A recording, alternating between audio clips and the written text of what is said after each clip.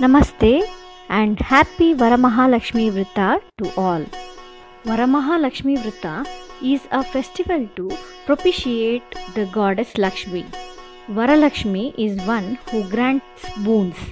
So it is an important puja performed by many women in the states of Karnataka, Andhra Pradesh, Telangana, Tamil Nadu, Maharashtra and Uttar Pradesh. And for this occasion, I am going to prepare Suji Laddu or Rava Laddu as prasad. So I am going to share the recipe of this. Let's start the video. For this recipe, I am taking 3 cups of Suji or Rava and 2 and half cups of sugar.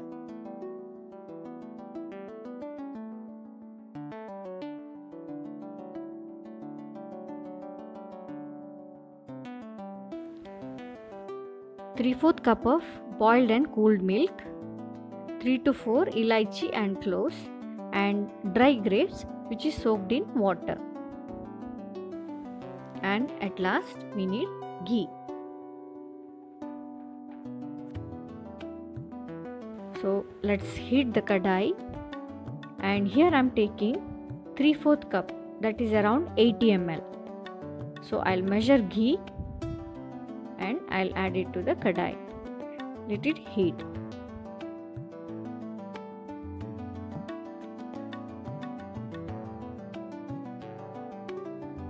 Once it is hot, add rava and fry it. While frying rava, you have to simmer the flame. Mix well so that it binds with the ghee. If you feel the rava is bit dry, you can add more ghee and it's completely optional. As we are frying our rava, on the other side we will powder the sugar. For that, I am adding cloves and elaichi into a mixie jar along with sugar and I'll make powder of it.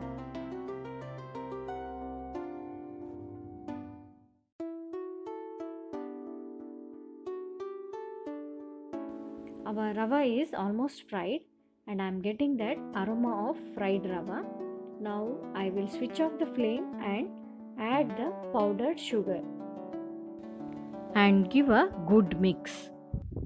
As we have switched off the flame, the sugar won't melt and you will get a powdered consistency of sugar and rava. Now we will keep aside to cool so that we can make laddus. It is almost cool. I am adding little amount of milk and mixing a small portion of rava to make laddus.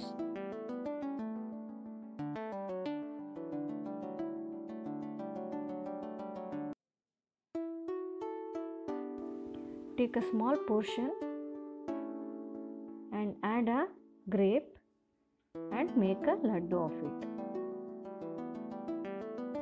While making laddu, if you feel the milk which you have added is little bit more, just mix the other dried portion and make a proper consistency so that you can make laddu. Of course, it will stick to your hand.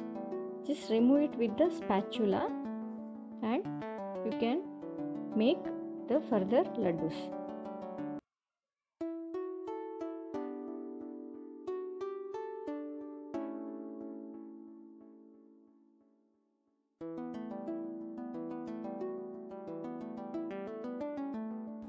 And here is our laddus which is ready for puja.